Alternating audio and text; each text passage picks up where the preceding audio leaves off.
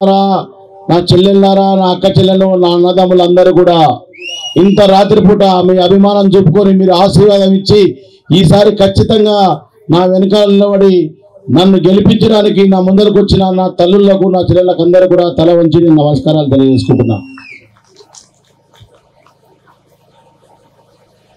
మీకు రెండు మూడు విషయాలు మీ ముందర పెట్టి మీ ఆశీర్వాదం తీసుకొని మీకు నమ్మకం కలిగించి మీకు మాట ఇచ్చి ఆ మాట తప్పకుండా పనిచేస్తానని చెప్పి మీతో కూడా మాట తీసుకొని మీరు కూడా మాట తప్పకుండా ఉండాలని ఆలోచనతోటి మేము ముందరకు వచ్చిన ఇంత రాత్రిపూట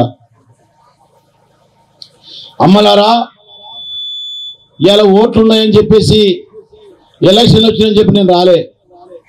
ఐదేళ్ళ నుంచి ఎప్పుడైతే ఒక మంచి జీవితాన్ని జీతాన్ని నాలుగు లక్షల ఉద్యోగాన్ని పూర్తిగా వదిలేసి పేద ప్రజల కోసం యువత కోసం వాళ్ళ భవిష్యత్తు కోసం వాళ్ళకు ఉద్యోగాలు రావాలి వాళ్ళకు ఉపాధి రావాలి అందరి కుటుంబాలు బాగుపడాలి. నేను ఒక్కరైతే కాదు నేను ఇరవై ఏడు సంవత్సరాలు నా లక్షల జీతం చేసుకుంటూ హాయిగా ఉన్నా ఇక్కడ కూతవేడు దూరంలో మా సముద్రంలో పుట్టి పెరిగిన.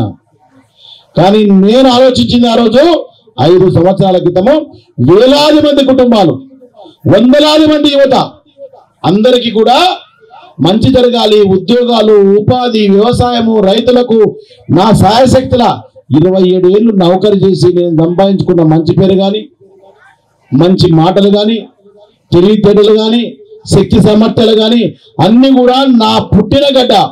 నాకు జన్మనిచ్చిన ఈ కొల్లాపూర్ ప్రాంతంలో ఒక ఐదు సంవత్సరాలు చేసి అందరికీ మంచి భవిష్యత్తు ఇవ్వాలని ఒక మంచి సంకల్పంతో ఐదు సంవత్సరాల క్రితం మీ ముందరకు వచ్చినామా నేను.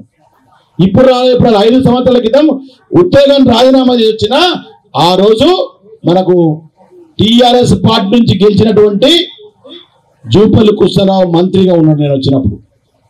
ఆయన ఇరవై సంవత్సరాలు గెలిపించుకున్నాం మనం. ఐదు సార్లు గెలిచినాం. ఏ పార్టీలో ఉన్నా ఓట్లేసినాం. కాంగ్రెస్ పార్టీలో ఓటేసినాం ఇండిపెండెంట్గా ఓట్లేసినాం. టీఆర్ఎస్ వచ్చినాక ఓటేసినాం మంత్రిని చేసినాం. ఎమ్మెల్యేని చేసినాం.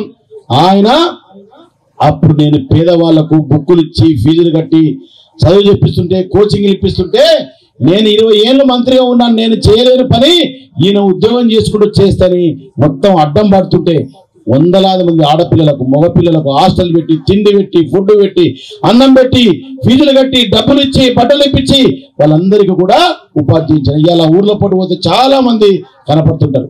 అట్లాంటి రోజు ఆ రోజుకి వెళ్ళి ఈ రోజు కూడా మాట తప్పలే. వెనక్కి తిరగలే.